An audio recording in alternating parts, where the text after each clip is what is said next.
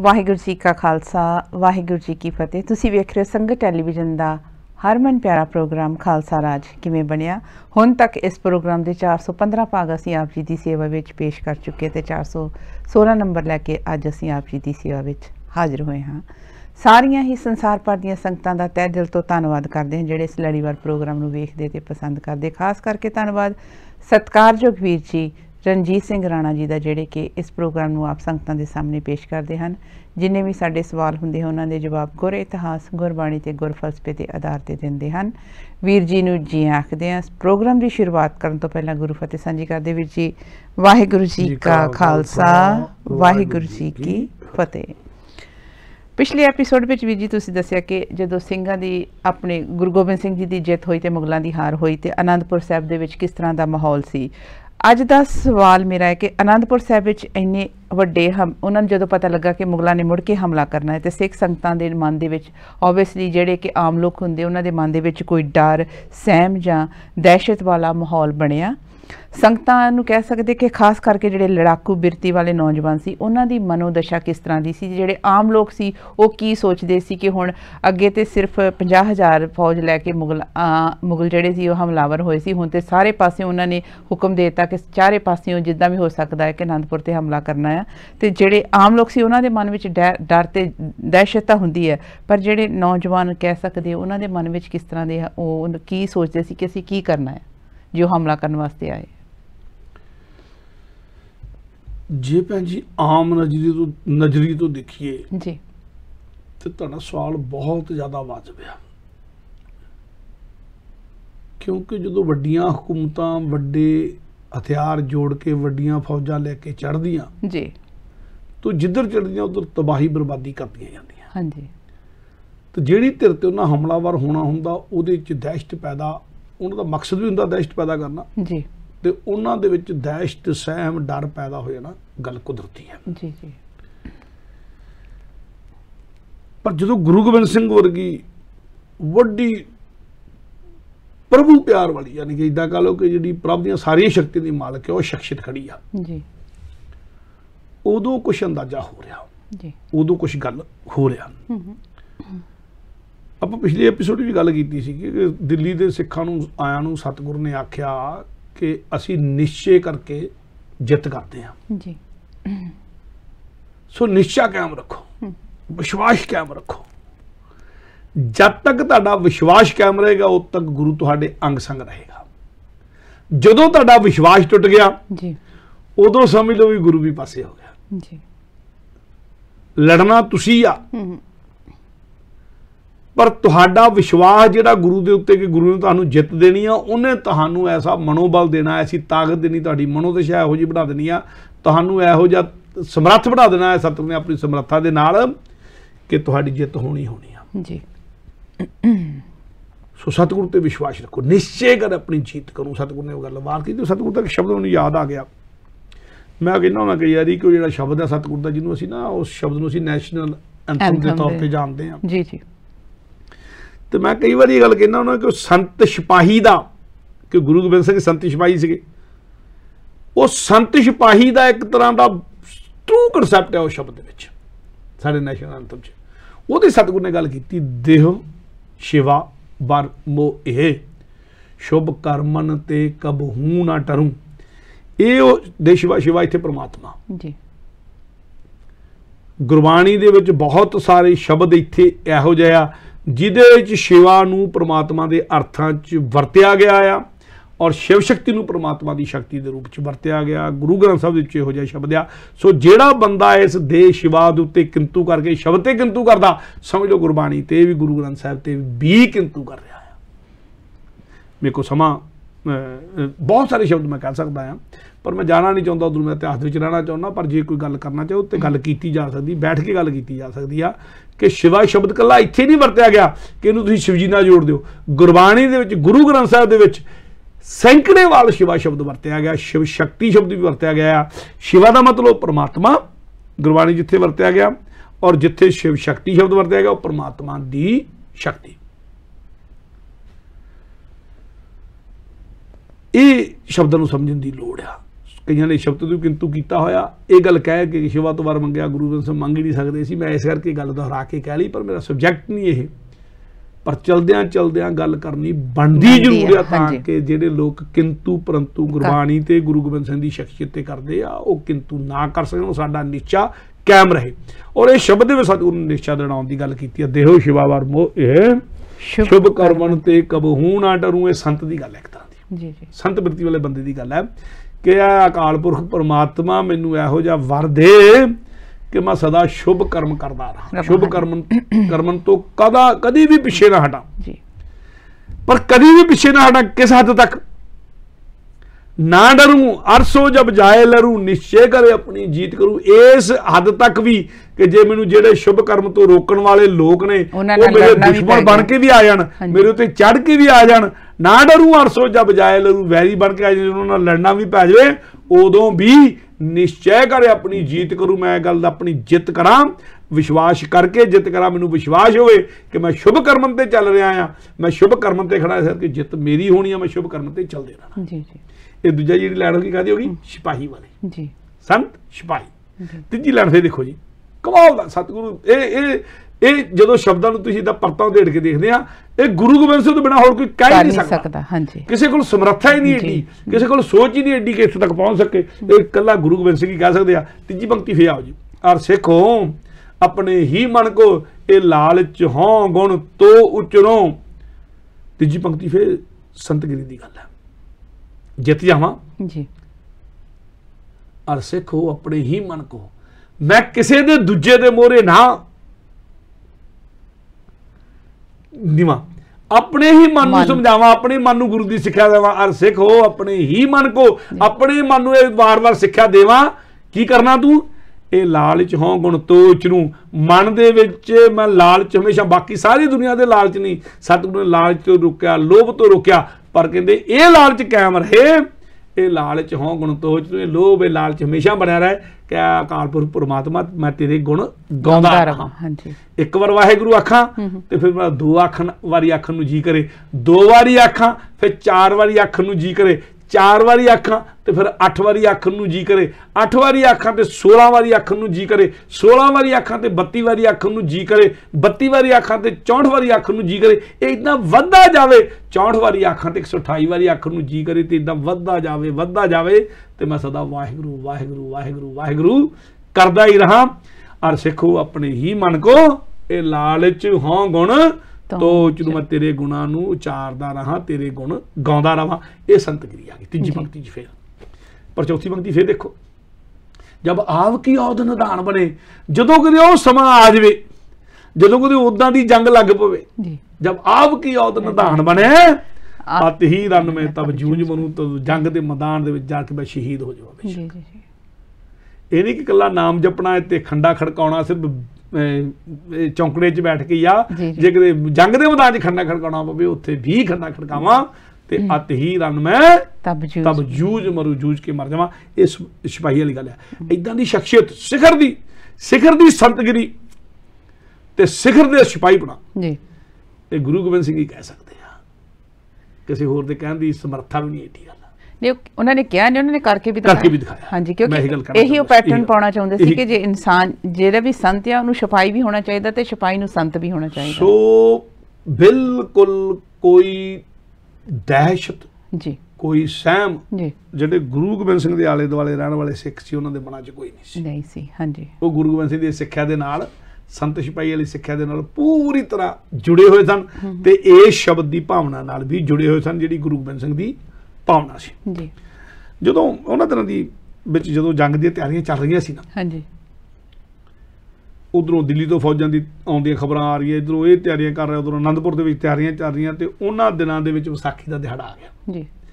ਇਹ ਵਿਸਾਖੀ ਸੀ 1704 ਦੀ। ਹਾਂਜੀ। 1699 ਦੀ ਵਿਸਾਖੀ ਤੇ ਸਤਿਗੁਰੂ ਨੇ ਅਮਰ ਸੰਚਾਰ ਕੀਤਾ ਸੀਗਾ ਤੇ ਉਦੋਂ ਤਕਰੀਬਨ 5 ਸਾਲ ਬਾਅਦ ਵਿੱਚ 1704 ਦੀ ਵਿਸਾਖੀ ਦਾ ਦਿਹਾੜਾ ਆ ਗਿਆ ਤੇ ਖਾਲਸਾ ਪੰਥ ਦੇ ਪ੍ਰਗਟ ਹੋਣ ਦੇ ਜੋੜ ਮੇਲਾ ਸਤਿਗੁਰੂ ਉਦੋਂ ਬਾਅਦ ਬਣਾਉਂਦੇ ਸੀ। ਜੀ। 1699 ਤੋਂ ਬਾਅਦ 1700 ਚ ਬਣਾਇਆ ਵਿਸਾਖੀ ਪਹਿਲਾਂ ਬਣਾਈ ਜਾਂਦੀ ਸੀ। ਪਰ ਹੁਣ ਖਾਲਸੇ ਦੇ ਜੋੜ ਦੇ ਪ੍ਰਗਟ ਦਿਹਾੜੇ ਦੇ ਜੋੜ ਮੇਲੇ ਦੇ ਤੌਰ ਤੇ ਦਿੱਤੀ ਲੱਗ ਪਈ ਸੀ ਸੀਗੀ। ਅੰਮ੍ਰਿਤ ਸੰਚਾਰ ਵੱਡੇ ਪੱਧਰ ਤੇ ਹੁੰਦਾ ਸੀ। ਜੀ। ਸੋ 1704 ਦਾ ਜੋੜ ਮੇਲਾ ਆ ਗਿਆ ਜਿਹੜਾ ਉਚੇਚਨਾ ਮਨਾਉਣ ਦੀ ਪਿਰਤ ਵਿਸਾਖੀ ਪਹਿਲਾਂ ਵੀ ਮਨਾਈ ਜਾਂਦੀ ਸੀ। ਜੀ ਜੀ। ਗੁਰੂ ਨਾਨਕ ਸਾਹਿਬ ਦੇ ਵੇਲੇ ਤੋਂ ਵਿਸਾਖੀ ਦੀਵਾਲੀ ਮਨਾਉਣ ਦੀ ਪਿਰਤ ਚੱਲ ਗਈ ਸੀ। ਸਾਲ 'ਚ ਦੋ ਵਾਰੀ ਸਿੱਖ ਇਕੱਠੇ ਹੁੰਦੇ ਸੀਗੇ। ਔਰ ਔਰ ਇਕੱਠੇ ਹੋਏ ਹੋਏ ਸਿੱਖ ਸੀ ਜਦੋਂ 1699 ਜਦੋਂ ਸਤਿਗੁਰੂ ਨੇ ਅੰਮ੍ਰਿਤ ਸੰਚਾਰ ਵਾਲੀ ਘਟਨਾ ਘਟੀ ਆ ਜਦੋਂ ਪੰਜ ਪਿਆਰਿਆਂ ਦੀ ਚੋਣ ਕੀਤੀ ਆ। ਪਰ ਇਹ ਉਦੋਂ ਬਾਅਦ 'ਚ 1699 ਤੋਂ ਬਾਅਦ ਵਿਸਾਖੀ ਕੱਲੀ ਵਿਸਾਖੀ ਨਹੀਂ ਸੀ ਰਹੀ। ਉਹ ਖਾਲਸੇ ਦੇ ਪ੍ਰਗਟ ਦਿਹਾੜੇ ਦਾ ਜੋੜ ਮੇਲਾ ਵੀ ਬਣ ਗਿਆ ਸੀ ਵੱਡਾ ਜੋੜ ਮੇਲਾ ਬਣ ਗਿਆ ਸੀ। ਜੀ। ਸੋ ਦੂਰ ਦਰਾਡੇ ਤੋਂ ਆਨੰਦਪੁਰ ਸੰਗਤਾਂ ਆਈਆਂ ਸਤਿਗੁਰੂ ਆਨੰਦਪੁਰ ਬੈਠੇ ਸਨ। ਔਰ ਆਮ ਦਿਨਾਂ 'ਚ ਵੀ ਆਨੰਦਪੁਰ ਮੇਲਾ ਤਾਂ ਪਹਿਲਾਂ ਵੀ ਵਿਸਾਖੀ ਦਾ ਭਰਦਾ ਸੀਗਾ। ਹਾਂਜੀ ਹਾਂਜੀ। ਜੋੜ ਮੇਲਾ ਬਣ ਕੇ ਹੋਰ ਭਰਨ ਲੱਗ ਪਿਆ ਸੀਗਾ। ਪਰ ਕਿਉਂਕਿ ਸਿੱਖਾਂ ਨੇ ਵੱਡੀ ਜਿੱਤ ਜਿੱਤੀ ਸੀ ਸਾਰੇ ਬੰਨੇ ਖਬਰਾਂ ਆ ਰਹੀਆਂ ਸੀ ਵੱਡੀ ਜੰਗ ਇੱਕ ਹੋ ਸਕਦੀ ਆ ਇਸ ਕਰਕੇ ਜੋੜ ਮੇਲਾ ਹੋਰ ਭਰਿਆ ਐਤਕੀ ਦਾ ਇਕੱਠ ਬਹੁਤ ਵੱਡਾ ਸੀ ਜ਼ਿਆਦਾ ਸੀ ਹਾਂਜੀ। 1704 ਵਾਲਾ ਬੜੀ ਦੂਰੋਂ ਦੂਰੋਂ ਆਏ ਔਰ ਸਤਿਗੁਰੂ ਨੇ ਕੁਝ ਹੁਕਮਨਾਮੇ ਭੇਜ ਕੇ ਵੀ ਸਿੱਖ ਸੱਦੇ। ਦੂਰੋਂ ਦਰਾਡਿਆਂ ਤੋਂ। ਹੁਕਮਨਾਮੇ ਭੇਜ ਕੇ ਕਿਹਾ ਵੀ ਨੌਜਵਾਨੋ ਜੰਗ ਯੁੱਧ ਦਾ ਸਮਾਂ ਚੱਲ ਰਿਹਾ ਸ਼ਸਤਰ ਸਜਾ ਕੇ ਆਉਣਾ ਮੇਰਾ ਜਿਹੜਾ ਸਿੱਖ ਆਵੇ ਆਨੰਦਪੁਰ ਸਤਿਗੁਰੂ ਨੇ ਵੈਸੇ ਤਾਂ ਪਹਿਲਾਂ ਵੀ ਹੁਕਮਨਾਮੇ ਕੱਢਦੇ ਹੁੰਦੇ ਸੀ ਕਿ ਸਿੱਖ ਤਿਆਰ ਬਰ ਤਿਆਰ ਰਹੇ ਸ਼ਸਤਰ ਸਿਜਾਵੇ 1699 ਤੋਂ ਬਾਅਦ ਇਹ ਜ਼ਰੂਰੀ ਕਰਤਾ ਕਿਰਪਾਨ ਸਿੱਖਣੇ ਪਾਉਣੀ ਪਾਉਣੀ ਆ। ਪਰ 1704 ਦੀ ਵਿਸਾਖੀ ਤੋਂ ਬਾਅਦ ਜਿਹੜੇ ਸੱਦੇ ਭੇਜੇਗਾ ਉਹਨਾਂ ਚ ਚੇਚੇ ਤੌਰ ਤੇ ਕਿਹਾ ਗਿਆ ਕਿ ਤੁਸੀਂ ਕੱਲੀਆਂ ਕਿਰਪਾਨਾਂ ਨਹੀਂ ਵੱਡੇ ਤੋਂ ਵੱਡੇ ਸ਼ਸਤਰ ਸਿਜਾ ਕੇ ਆਉਣਾ ਹੈ। ਜੀ। ਵੱਡੇ ਤੋਂ ਵੱਡੇ ਸ਼ਸਤਰ ਸਿਜਾ ਕੇ ਆਓ ਸੋਹਣੇ ਤੋਂ ਸੋਹਣੇ ਘੋੜੇ ਲੈ ਕੇ ਆਓ ਤਿਆਰ ਬਰ ਤਿਆਰ ਹੋ ਕੇ ਆਓ ਤੇ ਤੁਸੀਂ ਐਦਾਂ ਆਉਣਾ ਆ ਕਿ ਤੁਹਾਡਾ ਜੋਸ਼ ਜਿਹੜਾ ਨਾ ਉਹ ਥੰਮਿਆ ਨਾ ਜਾ ਸਕੇ। ਗੁਰੂ ਦੇ ਦਰਸ਼ਨ ਕਰਨ ਵੀ ਆਉਣਾ ਆ।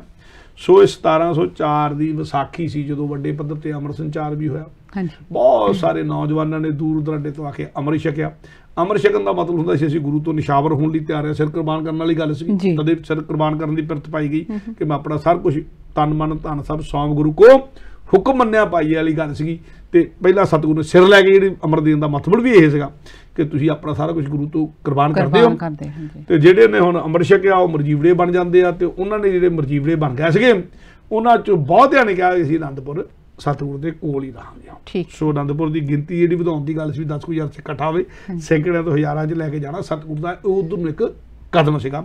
ਵੱਡੀ ਪੱਧਰ ਤੇ ਅਮਰ ਸੰਚਾਰ ਹੋਇਆ ਕੁਝ ਲੋਕਾਂ ਨੇ ਜਿਹੜੇ ਹਥਿਆਰ ਸਜਾ ਕੇ ਆਏ ਸਨ ਤਿਆਰੀ ਕਰਕੇ ਆਏ ਸਨ ਨੌਜਵਾਨਾਂ ਨੇ ਅਸੀਂ ਆਨੰਦਪੁਰ ਹੀ ਰਹਾਂਗੇ ਸੋ ਇੱਕ ਨਵੀਂ ਫੋਰਸ ਭਰਤੀ ਕਰਨ ਵਾਲੀ ਗੱਲ ਸ਼ੁਰੂ ਹੋ ਗਈ। ਜੀ। ਅੱਛਾ ਕੁਝ ਜਿਹੜੇ ਅਨੰਦਪੁਰ ਤੱਕ ਗਏ ਫਿਰ ਜਦੋਂ ਵਿਸਾਖੀ ਜੋੜ ਮੇਲੇ ਦੀ ਸਮਾਪਤੀ ਹੋਈ ਸਮਾਪਤੀ ਬਾਅਦ ਜਦੋਂ ਸੰਗਤਾਂ ਵਾਪਸ ਜਾਣ ਲੱਗੀਆਂ ਨਾ ਹਾਂਜੀ। ਜਿੱਦਾਂ ਵਹੀਰਾਂ ਘੱਟ ਗਏ ਸੀ ਉਦਾਂ ਵਹੀਰਾਂ ਘੱਟ ਕੇ ਵਾਪਸ ਵੀ ਜਾਣਾ ਸੀਗਾ। ਜੀ। ਜਦੋਂ ਵਾਪਸ ਜਾਣ ਲੱਗੇ ਤਾਂ ਸਤਿਗੁਰੂ ਨੇ ਵਾਪਸ ਜਿਹੜੇ ਜਥੇ ਜਾ ਰਹੇ ਸੀਗੇ ਹਾਂਜੀ। ਉਹਨਾਂ ਨੂੰ ਸਤਿਗੁਰੂ ਨੇ ਚੇਚੇ ਤੌਰ ਤੇ ਕੱਲੇ-ਕੱਲੇ ਜਥੇ ਦੇ ਜਥੇਦਾਰ ਨੂੰ ਸਤਿਗੁਰੂ ਮਿਲੇ ਜਥਿਆਂ ਨੂੰ ਮਿਲੇ ਉਹਨਾਂ ਨੂੰ ਆਖਿਆ ਕਿ ਪਿੰਡ-ਪਿੰਡ ਜਾ ਕੇ ਸਨੇਹਾ ਦਿਓ ਇਹ। ਆਪਣੇ ਪਿੰਡ-ਪਿੰਡ ਤੁਹਾਡੇ ਨੇ ਜਿੱਥੇ ਤੁਸੀਂ ਜਾਣਾ ਹੈ ਆਪਣੇ ਇਲਾਕੇ 'ਚ ਸਨੇਹਾ ਦਿਓ ਜਾ ਕੇ ਕਿ ਗੁਰੂ ਘਰ ਨੂੰ ਜਿੱਥੇ ਤੁਸੀਂ ਜਾਣਾ ਹੈ ਉੱਥੇ ਗੱਲ ਕਿਓ ਕਿ ਗੁਰੂ ਘਰ ਨੂੰ ਆਨੰਦਪੁਰ ਨੂੰ। ਹੁਣ ਸ਼ੈਲ ਸ਼ਬੀਲੇ ਨਖੀਲੇ ਨੌਜਵਾਨਾਂ ਦੀ ਲੋੜ ਆ। ਜੀ। ਜੰਗਜੂ ਬਿਰਤੀਆਂ ਵਾਲਿਆਂ ਦੀ ਲੋੜ ਆ ਜੰਗਜੂ ਘੋੜਿਆਂ ਦੀ ਲੋੜ ਆ ਹਥਿਆਰਾਂ ਦੀ ਜ਼ਰੂਰਤ ਆ। ਤੇ ਹਰ ਪੁੱਜਦਾ ਸਰਦਾ ਸਿੱਖ ਘਰ ਜਿਹੜਾ ਹੈਗਾ। ਜੀ। ਜਿਹੜਾ ਦੇ ਸਕਦਾ ਉਹ ਇੱਕ ਨੌਜਵਾਨ ਆਪਣੇ ਘਰ ਚੋਂ ਜ਼ਰੂਰ ਦੇਵੇ। ਹਾਂਜੀ। ਇੱਕ ਘੋੜਾ। ਤੇ ਇੱਕ ਚੰਗਾ ਹਥਿਆਰ ਆਨੰਦਪੁਰ ਨੂੰ ਜ਼ਰੂਰ ਭੇਜੇ ਕਿਉਂਕਿ ਹੁਣ ਨਿਰਣਾਇਕ ਜੰਗ ਹੋਣੀ ਆ। ਜੀ। ਇਹ ਸਾਰੇ ਜਥਿਆਂ ਨੂੰ ਸਤਿਗੁਰ ਨੇ ਜਾਣ ਲੱਗੇ ਸਨੇਹ ਵੀ ਦਿੱਤੇ। ਸਾਰੇ ਜਥਿਆਂ ਨੂੰ ਬੈਠ ਕੇ ਜਿੱਥੇ ਜਿੱਥੇ ਜਾਓ ਇਹ ਪ੍ਰਚਾਰ ਕਰੀ ਜਾਓ। ਜਿਵੇਂ ਜਿਵੇਂ ਜਥੇ ਮਾਝੇ ਮਾਲਵੇ ਦੁਆਬੇ ਤੋਂ ਆਏ ਸੀ ਜਦੋਂ ਵਾਪਸ ਗਏ ਤੇ ਉਦਾਂ ਉਦਾਂ ਮਾਝੇ ਮਾਲਵੇ ਦੁਆਬੇ ਚ ਸਤਿਗੁਰ ਦਾ ਜਿਹੜਾ ਸੰਦੇਸ਼ ਸੀਗਾ ਜਿਹੜਾ ਸਤਿਗੁਰ ਸੁਨੇਹਾ ਦੇ ਕੇ ਪੈਗਾਮ ਦੇ ਕੇ ਉਹਨਾਂ ਤੋਰਿਆ ਸੀ ਉਹ ਵੀ ਫੈਲਦਾ ਗਿਆ। ਜੀ। ਔਰ ਤੁਸੀਂ ਪੁੱਛਿਆ ਸਿੱਖਾਂ ਦੀ ਆਮ ਸੰਗਤਾਂ ਦੀ ਮਨੋਦਸ਼ਾ ਕਿਹੋ ਜਿਹੀ ਸੀ। ਜਿੱਦਾਂ ਜਿੱਦਾਂ ਪੈਗਾਮ ਫੈਲਦਾ ਗਿਆ ਨਾ ਉਦਾਂ ਉਹਦੇ ਪਿੰਡਾਂ ਦੇ ਵਿੱਚ ਉਵੇਂ ਉਵੇਂ ਪਿੰਡਾਂ ਦੇ ਵਿੱਚ ਸ਼ਸਤਰਧਾਰੀ ਨੌਜਵਾਨਾਂ ਦੇ ਦਸਤੇ ਬੰਨੇ ਸ਼ੁਰੂ ਹੋ ਗਏ। ਠੀਕ ਹੈ। ਪਿੰਡ ਪਿੰਡ ਨਗਰ ਨਗਰ ਜਾਣੀ ਕਿ ਉਹ ਦਸਤੇ ਬੰਨੇ ਸ਼ੁਰੂ ਹੋ ਗਏ।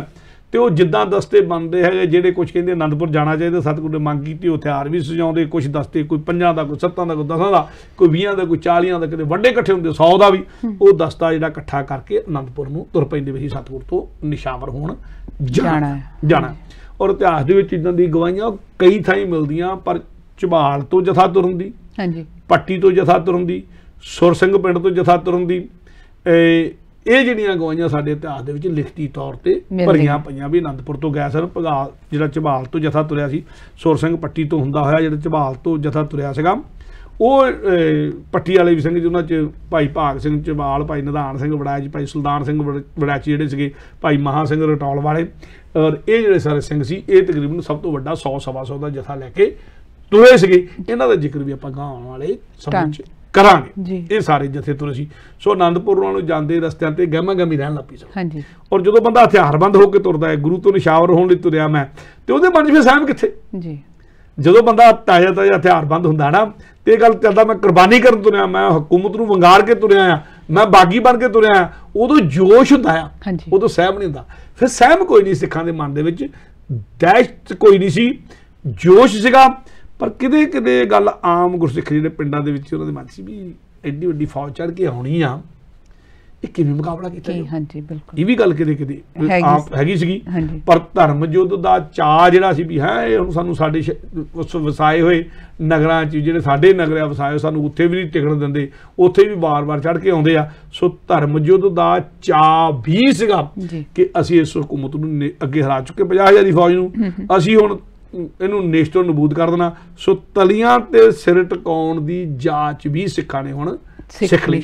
ਸੀਗੀ ਜੀ ਸੋ ਵੱਡੀਆਂ ਵੱਡੀਆਂ ਫੌਜਾਂ ਜਦੋਂ ਆਉਣ ਲੱਗ ਪਈਆਂ ਤੇ ਜਿਹੜੇ ਉਹ ਨਾ ਕੋਈ ਡਰ ਨਹੀਂ ਸੀ ਸਹਿਮ ਨਹੀਂ ਸੀ ਤੇ ਕੁਛ ਜਿਹੜਾ ਜਿਹੜੇ ਸਿੱਖੀ ਨਾਲ ਜੁੜੇ ਹੋਏ ਘਰ ਸੀ ਜਿਹੜੀਆਂ ਮਾਵਾਂ ਸੀ ਨਾ ਉਹਨਾਂ ਨੇ ਆਪਣੇ ਗੱਭਰੂ ਪੁੱਤਰਾਂ ਦੇ ਸਿਰਾਂ ਦੇ ਉੱਤੇ ਹਾਂਜੀ ਆਪ ਹੱਥ ਰੱਖਿਆ ਜੀ ਥਾਪੜੇ ਦਿੱਤੇ ਕਿ ਲੈ ਆਪ ਮੇਰੇ ਪੁੱਤਰ ਖੁਸ਼ੀ-ਖੁਸ਼ੀ ਲੈ ਤੋਰਿਆ। ਮੇਰੇ ਪੁੱਤਰ ਹਾਂਜੀ। ਤੂੰ ਗੁਰੂ ਤੋਂ ਨਿਸ਼ਾਵਰ ਹੋਣਾ ਹੈ ਜੀ। ਕੌਮ ਦਾ ਦੇਸ਼ ਦਾ ਆਪਣੇ ਪਰਿਵਾਰ ਦਾ ਆਪਣੇ ਖਾਨਦਾਨ ਦਾ ਨਾਂ ਰੋਸ਼ਨ ਕਰੀ ਜੀ ਇਹ ਗੁਰੂ ਘਰ ਤੋਂ ਕੁਰਬਾਨ ਜਾਣ ਵਾਲੀਆਂ ਮਾਵਾਂ ਸੀ ਉਦੋਂ ਹੈਗੀਆਂ ਸੀ ਮਾਵਾਂ ਇਦਾਂ ਦੀਆਂ। ਅੱਜ ਵੀ ਮਾਵਾਂ ਉਹ ਹੈਗੀਆਂ ਆ। ਅੱਜ ਵੀ ਮਾਵਾਂ ਨੇ ਤੋਰੇ ਪਰ ਉਦੋਂ ਵੀ ਉਹਨਾਂ ਨੇ ਤੋਰੇ ਸੀ ਜਿਹੜੀਆਂ ਮਾਵਾਂ ਸੀਗੀਆਂ। ਅਣਖੀਲੀਆਂ ਮਾਵਾਂ ਨੇ ਆਪਣੇ ਗੱਭਰੂ ਪੁੱਤਰਾਂ ਨੂੰ ਥਾਪੜੇ ਦੇ ਕੇ ਆਨੰਦਪੁਰ ਵੱਲ ਤੋਰਿਆ। ਔਰ ਜਿਹੜੀਆਂ ਸੋਭਾਵੰਤੀ ਸੁਹਾਗਣਾ ਸੀ ਨਾ ਸੋਭਾ ਵਾਲੀਆਂ ਸੁਹਾਗਣਾ ਉਹਨਾਂ ਵੀ ਕਿਹਾ ਵੀ ਜੇ ਮਾਂ ਪੁੱਤ ਨੂੰ ਤੋਰ ਰਹੀ ਆ ਤੇ ਮੈਂ ਵੀ ਪਿੱਛੇ ਨਹੀਂ ਹਟਣਾ। ਉਹਨੇ ਆਪਣੇ ਸੁਹਾਗ ਦੇ ਸਿਰ ਤੇ ਆਪ ਕੱਫੜ ਬੰਨਿਆ, ਕਹਿੰਦੀ ਆ ਲੈ, ਕੱਫੜ ਵਾਲੀ ਪੱਗ ਤੇਰੇ ਮੈਂ ਬੰਨ ਦਿੱਤੀ ਆ। ਮੈਨੂੰ ਮਾਣ ਹੋਊਗਾ ਕਿ ਮੈਂ ਸ਼ਹੀਦੀ ਸਿੰਘਣੀ ਆ ਤੇ ਜਾਂ ਜੰਗ ਜਿੱਤ ਕੇ ਮੁੜ ਕੇ ਆਈ। ਜੀ ਉਦਾਂ ਨਾ ਆਈ, ਜੰਗ ਜਿੱਤ ਕੇ ਮੁੜ ਕੇ ਆਈ, ਸਾਡੇ ਗੁਰੂ ਤੇ ਹਮਲਾ ਹੋਣ ਲੱਗਾ ਗੁਰੂ ਇਹਨਾਂ ਤੋਂ ਕੁਰਬਾਨ ਜਾਂਦੇ ਜਾਂਦੇ ਸਨ। ਔਰ ਮੈਨੂੰ ਇੱਥੇ ਇਤਿਹਾਸਕਾਰ ਹਰੀਰਾਮ ਗੁਪਤਾ ਦੀ ਗੱਲ ਸਮਝ ਆਉਂਦੀ ਆ, ਯਾਦ ਆਉਂਦੀ ਆ। ਉਹ ਕਹਿੰਦਾ ਕਿ ਜਿੰਨਾ ਗੁਰੂ ਗੋਬਿੰਦ ਸਿੰਘ ਨੂੰ ਸਿੱਖਾਂ ਨੇ ਪਿਆਰ ਕੀਤਾ ਨਾ, ਹਾਂਜੀ।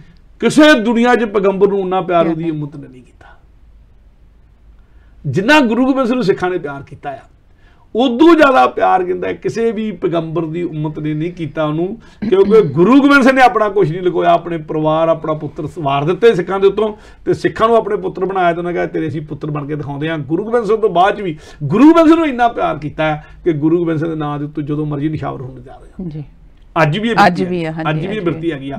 ਗੁਰੂ ਗੋਬਿੰਦ ਸਿੰਘ ਦੇ ਨਾਂ ਦੇ ਉੱਤੇ ਸਿੱਖ ਜੇ ਸਿੱਖ ਹੋਵੇ ਸਹੀ ਉਹ ਕੁਰਬਾਨ ਹੋਣ ਨੂੰ ਤਿਆਰ ਹੋ। ਜਾਂਦਾ ਇਹ ਗੱਲ ਵੱਖਰੀ ਆ ਕਿ ਕੋਈ ਸਾਡੇ ਚ ਇਹੋ ਜਿਹਾ ਕੰਗਿਆਰੀਆਂ ਪੈਦਾ ਹੋ ਗਈਆਂ ਜਿਹੜੀਆਂ ਗੁਰੂ ਗੋਬਿੰਦ ਸਿੰਘ ਦੀ ਸਮਰੱਥਾ ਦੇ ਕਿੰਤੂ ਕਰਨ ਲੱਗ ਪਈਆਂ। ਖੈਰ ਸਬਜੈਕਟ ਨਹੀਂ ਆਪਾਂ ਉਧਰ ਜਾਈਏ।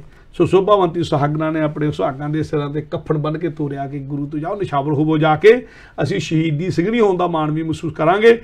ਘਰ ਪਰਿਵਾਰ ਨੂੰ ਸਾਂਭਾਂਗੇ, ਬੱਚਿਆਂ ਨੂੰ ਪਾਲਾਂਗੇ, ਤੁਹਾਡੇ ਰਸਤੇ ਤੇ ਤੋਰਾਂਗੇ, ਸਿੱਖੀ ਦੇ ਰਸਤੇ ਤੇ ਤੋਰਾਂਗੇ। ਔਰ ਇਹ ਕਿਆ ਹੀ ਨਹੀਂ ਸਿੰਘਣੀਆਂ ਨੇ ਬਾਅਦ ਚ ਕੀਤਾ ਵੀ। ਇੱਕ ਇੱਕ ਪੁਸ਼ਤ ਦੀ ਕਈ ਕਈ ਪੁਸ਼ਤਾਂ ਗੁਰੂ ਤੋਂ ਕੁਰਬਾਨ ਹੋਈਆਂ ਆ। ਸਾਡੇ ਇਤਿਹਾਸ ਦੇ ਵਿੱਚ ਗੱਲਾਂ ਮਿਲਦੀਆਂ ਆ ਕਿ ਇੱਕ ਪੁਸ਼ਤ ਜਿਹੜੀ ਕੁਰਬਾਨ ਹੋਣ ਲੱਗੀ, ਇੱਕ ਨਹੀਂ ਹੋਈ। ਫਿਰ ਕਈ ਕਈ ਪੁਸ਼ਤਾਂ ਲਗਾਤਾਰ ਪੰਜ ਪੰਜ, ਛੇ ਛੇ ਪੁਸ਼ਤਾਂ ਕੁਰਬਾਨ ਹੁੰਦੀਆਂ ਰਹੀਆਂ। ਉਹ ਬਾਵਾ ਦੇ ਹੌਸਲੇ ਸੀਗੇ ਉਹ ਸੁਹਾਗਣਾ ਦੇ ਹੌਸਲੇ ਸੀਗੇ। ਉਹਨਾਂ ਨੇ ਕੀਤੇ ਤੇ ਭੈਣਾਂ ਨੇ ਨਾ, ਜਿਹੜੀਆਂ ਆਮ ਲੋਕਾਂ, ਬੀਬੀਆਂ ਤੇ ਭੈਣਾਂ ਰੱਖੜੀ ਬੰਦੀਆਂ ਇੱਥੇ ਭੈਣਾਂ ਨੇ ਫਿਰ ਸ਼ਹੀਦੀ ਗਾਨੇ ਬੰਨੇ। ਜੀ।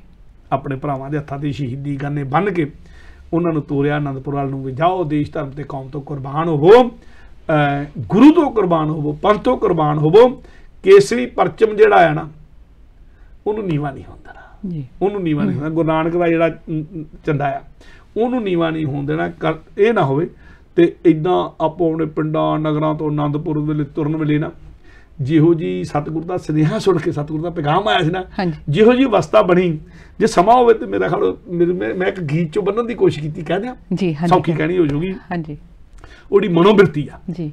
ਸਤਿਗੁਰੂ ਦਾ ਸੁਨੇਹਾ ਆਇਆ ਤੇ ਜਿਹੜੀ ਨੌਜਵਾਨਾਂ ਦੀ ਮਨੋਬਿਰਤੀ ਬਣੀ ਕਿ ਅਸੀਂ ਆਨੰਦਪੁਰ ਵੱਲ ਕੁਰਬਾਨ ਹੋਣ ਜਾਣਾ ਹੈ ਜੋ ਉਹਨਾਂ ਦੀ ਸੋਚ ਸੀ ਉਹਨਾਂ ਦਾ ਖਿਆਲ ਸੀ ਜਾਂ ਉਹਨਾਂ ਦਾ ਜਜ਼ਬਾ ਸੀ। ਖਿਆਲ ਆਉਂਦਾ ਹੈ ਜੀ। ਕਿ ਸਵੇਰੇ ਉੱਠ ਕੇ ਆਪਾਂ ਤੁਰਨਾ ਹੈ ਨੌ- ਸ- ਸੱਤ ਦੇ ਵਿੱਚ ਸਲਾਹਾਂ ਆਉਂਦੀਆਂ ਨੇ। ਬੈਠਿਆਂ ਬੈਠਿਆਂ ਕਿ ਸਵੇਰੇ ਆਪਾਂ ਰਾਤ ਨੂੰ ਤਿਆਰੀ ਕਰਨੀ ਹੈ ਸਵੇਰੇ ਆਪਾਂ ਤੜਕੇ ਤੁਰਾਂਗੇ। ਤਾਂ ਕਿ ਸੂਰਜ ਢਲਣ ਤੋਂ ਪਹਿਲਾਂ ਪਹਿਲਾਂ ਆਨੰਦਪੁਰ ਪਹੁੰਚ ਜਾਈਏ। ਤੇ ਉਹਨੂੰ ਮੈਂ ਗੀਤ ਚ ਫੜਨ ਦੀ ਕੋਸ਼ਿਸ਼ ਕੀਤੀ। ਆਇਆ ਸਤਿਗੁਰੂ ਵੱਲੋਂ ਸੁਨੇਹਾ। ਜੀ। ਰੁਕਣਾ ਕੰਮ ਨਹੀਂ ਕਰਨੇਹਾ। ਕਿ ਕੰਮ ਤਾਂ ਦੁਨੀਆ 'ਚ ਚੱਲਦੇ ਰਹਿਣਾ ਕਿਸੇ ਦਾ ਕੰਮ ਕਦੀ ਰੁਕਿਆ ਨਹੀਂ। ਆਇਆ ਸਤਿਗੁਰੂ ਵੱਲੋਂ ਸੁਨੇਹਾ ਰੁਕਣਾ ਕੰਮ ਨਹੀਂ ਕਰਨੇਹਾ। ਉੱਠ ਕੇ ਤੜਕੇ ਜਰਾ ਸਦੇਹਾ ਆਪਾਂ ਚਾਲੇ ਪਾਉਣੇ ਆ। ਉਹ ਜਿਹਨੇ ਆਨੰਦਪੁਰ ਪਾਇਆ ਘੇਰਾ ਉਹਨੂੰ ਚਨੇ ਚ ਪਾਉਣੇ ਆ। ਆ।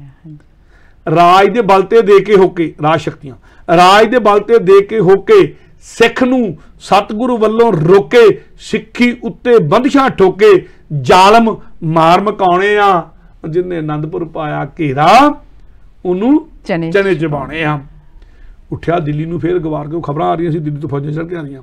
ਉੱਠਿਆ ਦਿੱਲੀ ਨੂੰ ਫੇਰ ਗਵਾਰ ਫੌਜਾਂ ਚੜੀਆਂ ਬੇਸ਼ੁਮਾਰ ਕਰਦੀਆਂ ਆ ਰਹੀਆਂ ਮਾਰੋ ਮਾਰ ਆਪਾਂ ਵੀ ਹੱਥ ਦਿਖਾਉਣੇ ਆ। ਉਹ ਜਿੰਨੇ ਆਨੰਦਪੁਰ ਪਾਇਆ ਘੇਰਾ ਉਹਨੂੰ ਚਨੇ ਚਨੇ ਚਬਾਉਣੇ ਆ। ਤੇ ਕਹਿੰਦੇ ਵੀ ਨਾਲ ਕੱਲੇ ਦਿੱਲੀ ਦੀ ਪਹਾੜੀ ਉੱਠ ਖੜੇ ਹੋਇਆ ਜੀ। ਉੱਠ ਖਾ ਕੇ ਗਿਆ ਵਾਰ-ਵਾਰ ਫੇਰ ਆ ਰਿਹਾ। ਕਹਿੰਦੇ ਜਾਨ ਨਹੀਂ ਦੇਣਾ ਸੁੱਕੇ। ਆਨੰਦਪੁਰ ਬੈਠ ਕੇ ਪੀਣੇ ਹੁੱਕੇ। ਨਾਲ ਬਾਈ ਧਾਰੀਏ ਬੁੱਕੇ। ਸਿੰਘਾਂ ਵੀ ਸਬਕ ਸਿਖਾਉਣੇ ਆ। ਉਹ ਜਿੰਨੇ ਆਨੰਦਪੁਰ ਪਾਇਆ ਘੇਰਾ ਉਹਨੂੰ ਚਣੇ ਚਬਾਉਣੇ ਆ। ਰੁੱਤ ਕੁਰਬਾਨੀਆਂ ਦੀ ਫਿਰ ਆਈ। ਤਾਂ ਹੀ ਸਮਿਆਂ ਲਈ ਅੰਗੜਾਈ। ਰਾਣੇ ਜਿਸ ਨੇ ਜਾਨ ਬਚਾਈ ਉਹ ਨਾ ਸਤਿਗੁਰੂ ਨੂੰ ਪਾਉਣੇ ਆ। ਜਿਹਨੇ ਆਨੰਦਪੁਰ ਪਾਇਆ ਘੇਰਾ ਉਹਨੂੰ ਚਣੇ ਚਬਾਉਣੇ ਆ। ਆਇਆ ਸਤਿਗੁਰੂ ਵੱਲੋਂ ਸੁਨੇਹਾ ਰੁਕਣਾ ਕੰਮ ਨਹੀਂ ਕਰਨੇ ਹਾਂ। ਉੱਠ ਕੇ ਤੜਕੇ ਜਰਾ ਸਦੇਹਾਂ ਆਪਾਂ ਚਾਲੇ ਪਾਉਣੇ ਆ। ਜਿਹਨੇ ਆਨੰਦਪੁਰ ਪਾਇਆ ਘੇਰਾ ਉਹਨੂੰ ਚਨੇ ਚਬਾਉਣੇ ਆ। ਸੋ ਇਹ ਜਿਹੜੀ ਬਿਰਤੀ ਸੀ ਇਹ ਖੁਸ਼ੀ ਦੇ ਗੀਤ ਕਹਿ ਸਕਦੇ ਖੁਸ਼ੀ ਦੇ ਨਾਲ ਉਹ ਜਿਹੜੇ ਸੀ ਜੋਸ਼ ਦੇ ਜੋਸ਼ ਦੇ ਨਾਲ। ਜੋਸ਼ ਖੁਸ਼ੀ ਇੱਕ ਹੋਸ਼ ਵੀ ਕਾਇਮ ਹੈ ਨਾਲ ਜੀ। ਕਿ ਸਤਿਗੁਰੂ ਸਾਨੂੰ ਸੱਦ ਰਿਹਾ ਹੈ। ਜੀ। ਸੋ ਸਹਿਮ ਕਿਤੇ ਨਹੀਂ ਹਾਂਜੀ। ਦਹਿਸ਼ਤ ਕਿਤੇ ਨਹੀਂ ਹਾਂਜੀ। ਡਰ ਕਿਤੇ ਨਹੀਂ ਜੀ। ਜੋਸ਼ ਆ ਤੇ ਗੁਰੂ ਤੋਂ ਕੁਰਬਾਨ ਹੋਣ ਦੀ ਬਿਰਤੀ ਬਿਰਤੀ ਹੈ ਹਾਂਜੀ। ਵੀ ਗੁਰੂ ਤੋਂ ਕੁਰਬਾਨ ਹੋਣਾ ਔਰ ਇਹ ਨਿਸ਼ਚਾ ਆ ਹਾਂਜੀ। ਕਿ ਸਾਡਾ ਗੁਰੂ ਸਮਰੱਥ ਆ ਔਰ ਸਾਡਾ ਗੁਰੂ ਐਡਾ ਸਮਰੱਥ ਆ ਕਿ ਉਹ ਵੱਡੀ ਤੋਂ ਵੱਡੀ ਫੌਜ ਨੂੰ ਠੱਲ ਸਕਦਾ ਹੈ। ਜੀ ਜੀ। ਇਹ ਬਿਰਤੀ ਉਹਨਾਂ ਦਿਨਾਂ ਦੇ ਵਿੱਚ ਬਣੀ ਹੋਈ ਤੇ ਮੈਂ ਜ਼ਿਕਰ ਕੀਤਾ ਸੀ ਆਪਾਂ ਗਾਂ ਜਾ ਕੇ ਜ਼ਿਕਰ ਕਰਾਂਗੇ। ਸਾਡੇ ਇਤਿਹਾਸ ਦੇ ਵਿੱਚ ਬੇਸ਼ੱਕ ਇਹ ਬਿਰਤੀ ਪਿੰਡ ਪਿੰਡ ਦੀ ਆ। ਹਾਂਜੀ। ਪਰ ਹਰ ਪਿੰਡ ਨੂੰ ਇਤਿਹਾਸ ਨਹੀਂ ਫੜ ਸਕਦਾ। ਜੀ ਜੀ ਜੀ ਜੀ। ਇਤਿਹਾਸ ਦੇ ਵਿੱਚ ਜਦੋਂ ਇਤਿਹਾਸ ਦੀ ਆਪਾਂ ਗੱਲ ਕਰਦੇ ਆ ਆਪਾਂ ਆਲਾ ਦੁਆਲਾ ਸਾਰਾ ਦੇਖਣਾ ਹੁੰਦਾ ਜਦੋਂ ਨਾ ਤੇ ਜਿੱਦਾਂ ਦਾਲ ਚੋਂ ਦਾਣਾ ਟੋਲੀਦਾ ਆ। ਜੀ। ਤੇ ਉਹਨੂੰ ਦਾਣੇ ਨੂੰ ਇੱਕ ਚੱਕ ਕੇ ਬੀਬੀਆਂ ਆਮ ਤੌਰ ਤੇ ਇੱਦਾਂ ਕਰਦੀਆਂ ਨਾ। ਚਮਚੇ ਨਾਲ ਦਾਣਾ ਕੱਢਣਾ ਤੇ ਉਹਨੂੰ ਰੱਖ ਕੇ ਤਲੀ ਤੇ ਜਾ ਉਹਨੂੰ ਫੇਕ ਦੇਖ ਲੈਣਾ ਜਾਂ ਉਹਨੂੰ ਚਮਚੇ 'ਚ ਰੱਖ ਕੇ ਉਹਦੇ ਨਾਲ ਬਣੀ ਹੈ ਕਿ ਨਹੀਂ ਉਹਨੂੰ ਦੇਖ ਲੈਣਾ। ਦਾਲ ਗਲੀ ਕਿ ਨਹੀਂ ਗਲੀ? ਹਾਂਜੀ। ਇੱਕ ਦਾਣਾ ਟੋਕ ਕੇ ਹੀ ਦਾਲ ਪੂਰੀ ਦਾ ਪਤਾ ਲੱਗ ਜਾਂਦਾ ਕਿ ਗਲੀ ਕਿ ਨਹੀਂ ਗਲੀ। ਜੀ ਜੀ ਜੀ। ਇਹ ਇਤਿਹਾਸ ਨੂੰ ਪਰਖਣ ਦੀ ਬਿਰਤੀ ਹੁੰਦੀ ਆ। ਹੂੰ ਹੂੰ। ਅਨੁਭਵ ਇਹੀ ਕਹਿੰਦਾ ਹੁੰਦਾ ਕਿ ਜੋ ਘਟਨਾ ਇੱਕ ਥਾਂ ਤੇ ਘਟ ਰਹੀ ਆ ਉਹਦੇ ਵਰਗੀ ਸਿਮਿਲਰ ਘਟਨਾ ਉਹੋ ਜਿਹੇ ਲੋਕਾਂ ਦੇ ਵਿੱਚ ਉਹੋ ਜੀ ਕੌਮ ਦੇ ਵਿੱਚ ਕਿਉਂਕਿ ਮਨੁੱਖ ਕਦੀ ਇਕੱਲਾ ਨਹੀਂ ਹੁੰਦਾ। ਉਹੋ ਜੀ ਦੂਜੇ ਬੰਨੇ ਵੀ ਘਟ ਰਹੀ ਆ ਜੀ ਜੀ। ਇਹਦਾ ਜ਼ਿਕਰ ਬੇਸ਼ੱਕ ਪਿੰਡ ਪਿੰਡ ਦਾ ਇਤਿਹਾਸ ਸਾਡੇ ਹੈ ਨਹੀਂਗਾ ਨਹੀਂ ਹੈ ਹਾਂਜੀ। ਪਰ ਸਾਨੂੰ ਤਿੰਨ ਚਾਰ ਪਿੰਡਾਂ ਦੇ ਮਾਝੀ ਦਾ ਇਤਿਹਾਸ ਮਿਲਦਾ ਆ। ਮਾਲਵੇ ਤੋਂ ਜਥਾ ਤੁਰਨ ਦੀ ਗੱਲ ਮਿਲਦੀ ਆ। ਮੈਂ ਪਹਿਲਾਂ ਜ਼ਿਕਰ ਕੀਤਾ ਸੀ ਕਿ ਸੁਰ ਸਿੰਘ ਪਿੰਡ ਤੋਂ ਹਾਂਜੀ। ਜਿਹੜਾ ਅੱਜ ਵੀ ਮਾਝੇ ਦਾ ਸਭ ਤੋਂ ਵੱਡਾ ਪਿੰਡ ਆ ਜੀ। ਉਹ ਪਿੰਡ ਉਹਨਾਂ ਦਿਨਾਂ ਦੇ ਵਿੱਚ ਸੁਰ ਸਿੰਘ ਪਿੰਡ ਵਿਧੀ ਚੰਦ ਦਾ ਪਿੰਡ ਸੀ। ਜੀ। ਵਿਧੀ ਚੰਦ ਜਿਹੜਾ ਗੁਰੂ ਹਰਗੋਬਿੰਦ ਸਾਹਿਬ ਦੇ ਵੇਲੇ ਅਹ, ਜਾਣੀ ਕਿ ਉਹਦਾ ਪਿੰਡ ਸ਼ੀਨਾ ਸੀ ਜਨਮ ਉੱਥੇ ਦਾ ਸੀ ਪਰ ਉਹਦੇ ਪੁੱਤਰ ਲਾਲ ਚੰਦ ਆ ਕੇ ਗੁਰੂ ਸਾਹਿਬ ਵੱਲੋਂ ਬਖਸ਼ੀ ਹੋਈ ਜ਼ਗੀਰ ਤੇ ਆ ਕੇ ਉੱਥੇ ਬੈਠ ਗਿਆ ਸੀ। ਲਾਲ ਚੰਦ ਦਾ ਪੁੱਤਰ ਗੁਰਦਿਆਲ ਸਿੰਘ ਸੀ ਜਿਹਨੇ ਗੁਰੂ ਗੋਬਿੰਦ ਸਿੰਘ ਦੇ ਵੇਲੇ ਅੰਮ੍ਰਿਤ ਛਕ ਲਿਆ ਸੀਗਾ। ਸੋ ਉਸ ਗੁਰਦਿਆਲ ਸਿੰਘ ਦਾ ਜ਼ਿਕਰ ਮਿਲਦਾ ਜੀ। ਜਥਾ ਤੋਰਨ ਦਾ। ਸੁਰ ਸਿੰਘ ਪਿੰਡ ਚੋਂ। ਉਸੇ ਪਿੰਡ ਦੇ ਵਿੱਚ ਜੱਸਾ ਸਿੰਘ ਰਾਮਗੜੀਆ ਦਾ ਦਾਦਾ ਸੀ ਬਾਬਾ ਹਰਦਾਸ ਸਿੰਘ ਜੀ। ਜਿਹਦਾ ਜਨਮ ਉਸ ਪਿੰਡ ਦਾ ਹੋਇਆ ਆ। ਇਹ ਵਿਧੀ ਚੰਦ ਭਵਰੇ ਦਾ ਪੁੱਤਰ ਸੀਗਾ ਰਾਮੂ ਭਵਰੇ ਦਾ ਪੁੱਤਾ ਸੀਗਾ ਇਹ। ਇਹ ਜਿਹੜਾ ਸੀ ਬਾਬਾ ਹਰਦਾਸ ਸਿੰਘ ਇਹਦਾ ਜਥੇ ਚ ਤੁਰਨ ਦਾ ਜਾਣੀ ਕਿ ਇਹਦਾ ਜਥਾ ਤੁਰਨ ਦਾ ਜਿਹੜਾ ਮਿਲਦਾ ਹੈ ਉੱਥੋਂ। ਹਾਂਜੀ। ਔਰ ਪੱਟੀ ਤੋਂ ਜਿਹੜੇ ਜਿਨ੍ਹਾਂ ਦੇ ਘਰ ਦੇ ਵਿੱਚ ਬੀਬੀ ਭਾਗ ਕੌਰ ਮਾਤਾ ਭਾਗ ਕੌਰ ਆਪਾਂ ਕਹਿੰਦੇ ਨੇ ਮਾਈ ਭਾਗੋ ਵੀ ਕਹਿੰਦੇ ਦਾ ਇਤਿਹਾਸ ਵਿਆਹੀ ਹੋਈ ਸੀਗੀ ਵੜੈਚ ਖਾਨਦਾਨ ਸੀ ਦੇਸ਼ਰਾਜ ਵੜੈਚ ਪੱਟੀ ਦਾ ਇਹ ਚੌਧਰੀ ਸੀਗਾ। ਉਹਦੇ ਘਰ ਚੋਂ ਉੱਥੋਂ ਜਥਾ ਤੁਰਨ ਦੀ ਗੱਲ ਮਿਲਦੀ ਹੈ ਨਿਧਾਨ ਸਿੰਘ ਸੁਲਤਾਨ ਸਿੰਘ ਵੜੈਚ ਉਹਨਾਂ ਨੇ ਜਥਾ ਤੋਰਿਆ ਸੀ ਤੇ ਝਬਾਲ ਜਿਹੜੀ ਬੀਬੀ ਭਾਗੋ ਦਾ ਪਰਿਵਾਰ ਆ ਜਿਹੜਾ ਗੁਰੂ ਅਰਜਨ ਦੇਵ ਤੋਂ ਲੈ ਕੇ ਜੁੜਿਆ ਹੋਇਆ ਸੀਗਾ। ਉਹਨਾਂ ਦੇ ਘਰੋਂ ਜਿਹੜੀ ਭਾਗ ਸਿੰਘ ਝਬਾਗ ਦਿਲਬਾਗ ਸਿੰਘ ਝਬਾਲ ਕਰਬਾਰਾ ਸਿੰਘ ਝਬਾਲ ਦਰਬਾਰਾ ਸਿੰਘ ਝਬਾਲ ਤੇ ਰਟੌਲ ਪਿੰਡ ਵਾਲਾ ਮਹਾ ਸਿੰਘ ਜਿਹੜਾ ਸੀ ਉਹਨਾਂ ਦੇ ਇੱਥੋਂ ਤੁਰਨ ਦੇ ਜਥੇ ਸਾਡੇ ਇਤਿਹਾਸ ਦੇ ਵਿੱਚ ਜ਼ਿਕਰ ਮਿਲਦਾ ਹੈ ਇਕੱਠੇ ਹੋ ਕੇ ਸਾਰੇ 100 ਸਵਾ 100 ਦਾ ਜਥਾ ਮਾਝੇ ਤੋਂ ਆਨੰਦਪੁਰ ਤੋਂ ਕੁਰਬਾਨੀ ਦੇਣ ਲਈ ਤੁਰਿਆ ਸੀ ਬਿਲਕੁਲ ਇਸੇ ਬਿਰਤੀ ਦੇ ਨਾਲ। ਕਿ ਆਇਆ ਸਤਿਗੁਰੂ ਵੱਲੋਂ ਸੁਨੇਹਾ। ਰੁਕਣਾ ਕੰਮ ਨਹੀਂ ਨਹੀਂ ਕਨੇਹਾ ਕਨੇਹਾ। ਉੱਠ ਕੇ ਤੜਕੇ ਜਿਹੜਾ ਸਦੇਹਾ ਆਪਾਂ ਚਾਲੇ ਪਾਉਣੇ ਆ ਜਿਹਨੇ ਆਨੰਦਪੁਰ ਪਾਇਆ ਘੇਰਾ ਉਹਨੂੰ ਚਨੇ ਚਪਾਉਣੇ ਆ ਪਾਉਣੇ 100 ਸਵਾ 100 ਦਾ ਜਥਾ ਲੈ ਕੇ ਤੁਰਨ ਦਾ ਜ਼ਿਕਰ ਸਾਡੇ ਇਤਿਹਾਸ ਦੇ ਪ੍ਰਾਤਨ ਲਿਖਤਾਂ ਦੇ ਵਿੱਚ ਮਿਲਦਾ ਆ। ਜੇ ਇਸ ਗੱਲ ਨੂੰ ਬਹੁਤ ਵਿਸਤਾਰ ਨਾਲ ਪੜ੍ਹਨਾ ਹੋਵੇ ਅੱਜ ਦੀ ਸੌਖੀ ਬੋਲੀ 'ਚ ਪੜ੍ਹਨਾ ਹੋਵੇ ਤੇ ਮੈਂ ਬਿਲਕੁਲ ਬੜੇ ਪਿਆਰ ਨਾਲ ਕਹਿੰਦਾ ਕਿ ਮੇਰੀ ਆਪਣੀ ਕਿਤਾਬ ਆ ਬਾਬਾ ਹਰਦਾਸ ਸਿੰਘ ਲਿਖੀ ਹੋਈ। ਹਾਂਜੀ। ਜੱਸਾ ਸਿੰਘ ਰਾਮਗੜੀ ਦਾਦੇ ਦਾ ਇਤਿਹਾਸ ਆ। ਵੱਡੀ ਕਿਤਾਬ ਆ ਉਹਨੂੰ ਇਤਿਹਾਸ ਨੂੰ ਆਪਣੇ ਅੰਦਾਜ਼ 'ਚ ਇੱਕ ਵਿਲੱਖਣ ਅੰਦਾਜ਼ 'ਚ ਲਿਖਣ ਦੀ ਕੋਸ਼ਿਸ਼ ਕੀਤੀ ਗਈ ਆ। ਉਹਦੇ ਵਿੱਚ ਮੈਂ ਇਸ ਸਾਰੀ ਪਿਰਤ ਨੂੰ ਜਿਹੜੀ ਆਨੰਦਪੁਰ ਤੇ ਘੇਰਾ ਪੈਣ ਦੀ ਵੇਲੇ ਦੀ ਇਹ ਸਾਰੇ ਸਮੇਂ ਨੂੰ ਜਿਹਦਾ ਮੈਂ ਜ਼ਿਕਰ ਕੀਤਾ ਹੈ, ਇਹਨੂੰ ਮੈਂ ਵਾਹਵਾ ਵਿਸਤਾਰ ਦੇ ਨਾਲ ਇਹਦਾ ਜ਼ਿਕਰ ਵੀ ਕੀਤਾ ਜਰੂਰ ਵਿਸਤਾਰ ਨਾਲ ਪੜ੍ਹਨਾ ਉੱਥੇ ਤੁਸੀਂ ਪੜ੍ਹ ਸਕਦੇ ਆ ਪਰ ਜੇ ਕਿਸੇ ਨੇ ਕਿਤਾਬ ਲੈਣੀ ਹੋਵੇ ਉਹ ਕਿਸ ਤਰ੍ਹਾਂ ਲੈ ਸਕਦਾ ਕਿਤਾਬਾਂ ਆਮ ਤੌਰ ਤੇ ਬਹੁਤ ਸਾਰੇ ਗੁਰਦੁਆਰੇ ਲਾਇਬ੍ਰੇਰੀ ਤੋਂ ਮਿਲ ਜਾਂਦੀ ਆ। ਤੇ ਹੋਰ ਵੀ ਬੰਨੇ ਮਿਲ ਜਾਂਦੀ ਨਾ ਹੋਵੇ ਤੇ ਸੰਗਤ ਟੀਵੀ ਨਾਲ ਵੀ ਕੰਟੈਕਟ ਕੀਤਾ ਜਾ ਸਕਦਾ ਸਾਡੇ ਨਾਲ ਕਰ ਸਕਦੇ ਅਸੀਂ ਕਿਤਾਬ ਉਹਨਾਂ ਨੂੰ ਔਰ ਕਿਤਾਬ ਮੁੱਲ ਨਹੀਂ ਵੇਚਦੇ ਤਕਰੀਬਨ ਸੇਵਾ- ਵਜੋਂ। ਹੀ ਕਿਤਾਬ ਉਹ ਦਿੱਤੀ ਜਾਂਦੀ ਆ। ਬਹੁਤ ਸਾਰੇ ਗੁਰਦੁਆਰਿਆਂ 'ਚ ਕਿਤਾਬਾਂ ਉਹ ਮਿਲਦੀਆਂ। ਹੈਗੀਆਂ। ਖੈਰ ਮੇਰਾ ਸਮਾਂ ਹੋ ਗਿਆ ਆਪਣਾ ਬਿਲਕੁਲ ਜੀ ਹਾਂਜੀ ਨੌਜਵਾਨ ਜਿਨੇ ਚਾਹ ਤੇ ਉਤਸ਼ਾਹ ਦੇ ਨਾਲ ਆਨੰਦਪੁਰ ਨੂੰ ਜਾ ਰਹੇ ਨੇ ਕਿਉਂਕਿ ਜਿੱਦਾਂ ਵੀਰ ਜੀ ਨੇ ਦੱਸਿਆ ਕਿ ਸੰਗਤਾਂ ਜਿਹੜੀਆਂ ਨੇ ਉਹਨਾਂ ਦੇ ਮਨ ਦੇ ਵਿੱਚ ਚਾਹ ਵੀ ਹੈ ਕਿ ਜੇ ਆਨੰਦਪੁਰ ਤੇ ਜੇ ਕੋਈ ਹਮਲਾ ਕਰਨ ਵਾਸਤੇ ਆ ਰਿਹਾ ਉਸ ਨੂੰ ਅਸੀਂ ਕਿਸ ਤਰ੍ਹਾਂ ਰੋਕਣਾ? ਨੌਜਵਾਨਾਂ ਦੇ ਵਿੱਚ ਹੋਰ ਉਤਸ਼ਾਹ ਹੈ, ਚਾਹ ਮਾਵਾਂ ਨੂੰ ਵੀ ਚਾਹ ਆਪਣੇ ਪੁੱਤਰ ਭੇਜ ਰਹੀਆਂ, ਭੈਣਾਂ ਨੂੰ ਚਾਹ ਆਪਣੇ ਭੈਣ ਭਰਾਵਾਂ ਨੂੰ ਭੇਜ ਰਹੀਆਂ ਤੇ ਕਈ ਕਈ ਘਰਾਂ ਦੇ ਵਿੱਚੋਂ ਜਿੱਦਾਂ ਵੀਰ ਜੀ ਨੇ ਦੱਸਿਆ ਸੀ ਕਿ ਆਪਣੇ ਪਤੀ ਪਰਮੇਸ਼ਵਰ ਨੂੰ ਵੀ ਜਿਹੜੀਆਂ ਪਤਨੀਆਂ ਉਹ ਭੇਜ ਰਹੀਆਂ ਤਿਆਰ ਕਰਕੇ ਤਿਆਰ ਕਰਕੇ ਗੁਰੂ ਗੋਬਿੰਦ ਸਿੰਘ ਜੀ ਨੂੰ ਇਸ ਵਕਤ ਤੁਹਾਡੀ ਸਤਿਗੁਰੂ ਨੂੰ ਲੋੜ ਨਹੀਂ, ਪਰ ਇੱਕ ਇੱਕ ਤਰ੍ਹਾਂ ਦਾ ਉਹ ਇੱਕ ਉਦਾਹਰਨ ਸੈੱਟ ਕਰਨੀ ਚਾਹੁੰਦੇ ਸੀ ਕਿ ਜਦੋਂ ਵੀ ਕੌਮ ਤੇ ਕੋਈ ਦੇਸ਼ ਤੇ ਲੋੜ ਪਵੇ ਭੀੜ ਪਵੇ ਤੇ ਜਿਹੜੇ ਸਿੱਖ ਨੌਜਵਾਨ ਆ ਜਾਂ ਜਿਹੜੇ ਨੌਜਵਾਨ ਬਿਰਤੀ ਵਾਲੇ ਨੌਜਵਾਨ ਨੇ ਉਹਨਾਂ ਨੇ ਅਗਾਂਹ ਨੂੰ ਆਉਣਾ ਹੈ। ਪ੍ਰੋਗਰਾਮ ਕਰਦੇ ਆ ਸਾਡੇ ਕੋਲ ਗਲਤੀ ਹੋਵੇ ਦੋਵੇਂ ਹੱਥ ਜੋੜ ਕੇ ਅਸੀਂ ਤੁਹਾਡੇ ਕੋਲ ਮਾਫੀ ਮੰਗਦੇ। ਉਸ ਤੋਂ ਬਾਅਦ ਕੀ ਹਾਲਾਤ ਹੋਏ? ਅਗਲੇ ਐਪੀਸੋਡ ਵਿੱਚ ਆਪ ਜੀ ਨਾਲ ਸਾਂਝੇ ਕੀਤੇ ਜਾਣਗੇ। ਇੱਥੇ ਫਤਿਹ ਬੁਲਾਉਂਦੇ ਆ ਵਾਹਿਗੁਰੂ ਜੀ ਕਾ ਖਾਲਸਾ। ਵਾਹਿਗੁਰੂ ਜੀ ਕੀ ਫਤਿਹ।